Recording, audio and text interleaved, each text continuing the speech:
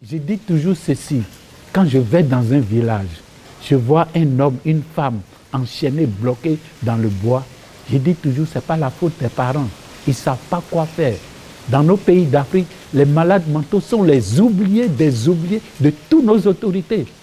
En Côte d'Ivoire, où nous avons commencé cette expérience, il y a plus de 25 millions d'habitants, mais il n'y a que deux hôpitaux psychiatriques qui existent pour tout le pays et vous avez un malade, vous n'avez pas d'argent, on ne vous reçoit pas.